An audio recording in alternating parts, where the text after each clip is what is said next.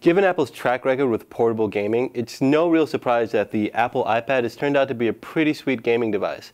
Hi, I'm Nate Ralph, and I want to take a look at a handful of games today. First up is Scrabble.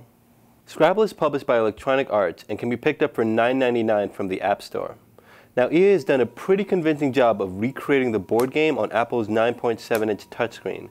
The iPad is light enough to pass around to friends, and you can even compete against people playing on Facebook. A standout feature of the game is the Party Play mode. Up to four people, each with their own iPhone or iPod Touch, can download a free app that turns their mobile device into a virtual tile rack. Next up is Fieldrunners.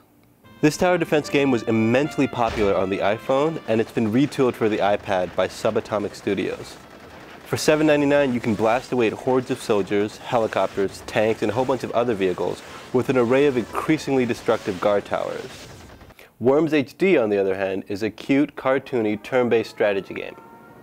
Developed by Team 17, this classic series does rather well on the iPad thanks to the responsive multi-touch and a fine use of screen real estate. A bargain at $4.99, this game has already provided me with plenty of fun. Now, I'm almost reluctant to recommend EA's Need for Speed Shift. Don't get me wrong, it's a gorgeous game and it's very responsive, but at $14.99 we're venturing into the upper price range that I'd ever be willing to pay for a mobile game. That said, if you're a hardcore racing enthusiast, it's probably going to be worth the cost of entry.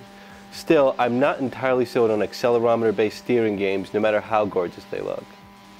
Finally, here's a game I'm not at all reluctant to recommend, Plants vs. Zombies HD.